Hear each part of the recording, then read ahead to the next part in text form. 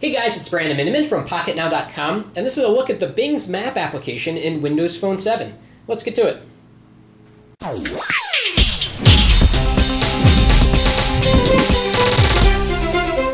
Okay, before getting started, we have to mention that this is not final Windows Phone 7 hardware or software.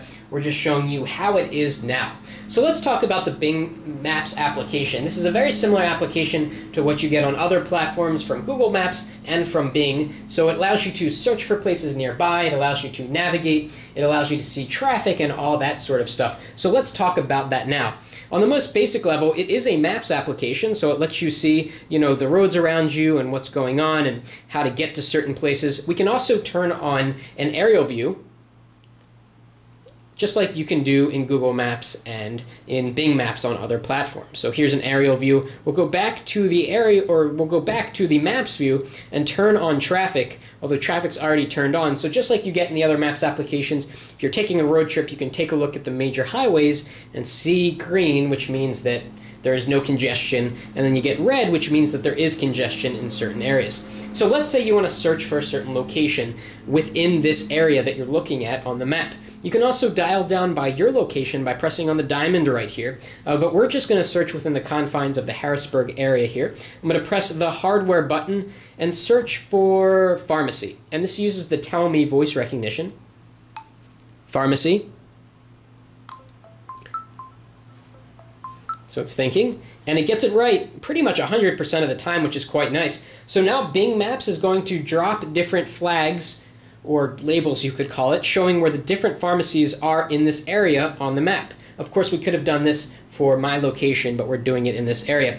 Now, there's a few things you can do from here. You can tap on any of the results, and you can see the pharmacy name. If you tap on that, you're taken into the information screen, and this would work great for a restaurant because you can actually see reviews within the application of that particular area. And there's probably not going to be a review of a pharmacy, although there seems to be one right there. We can swipe to the right. Here's another cool feature. You can see nearby places to the place you're looking for. So if you're looking for hotels and you want to know, okay, is there a grocery store nearby? There, are there restaurants nearby?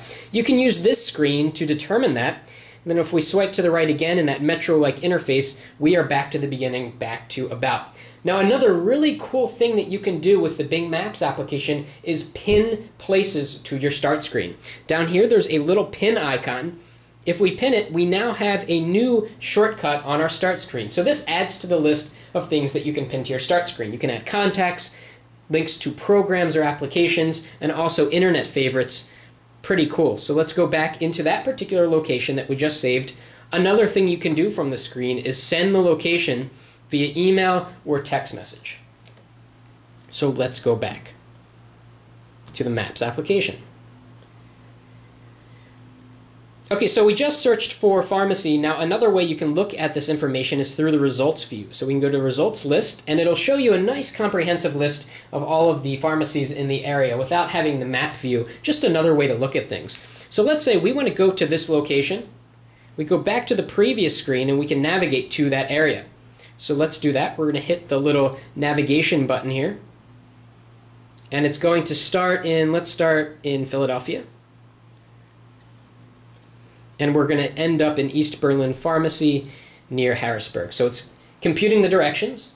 And here we go, in a really cool display for navigating. It's not voice guided navigation, but it works quite well. What you do is you tap along, and it will show you with this nice animation how you should be going. And the map will actually change, and you can zoom in and zoom out from this little map tile up here. Really cool.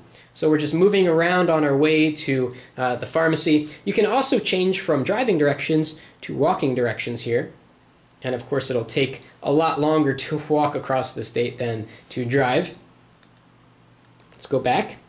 See if there's any other options we missed. There are a couple of settings we can determine if it's using your location or not.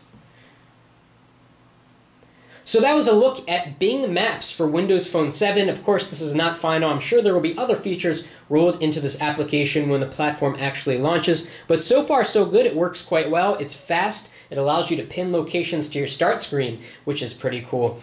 So please thumbs up this video if you liked it, and don't forget to subscribe to our channel if you want to see more smartphone videos. Thanks for watching. That's it for now.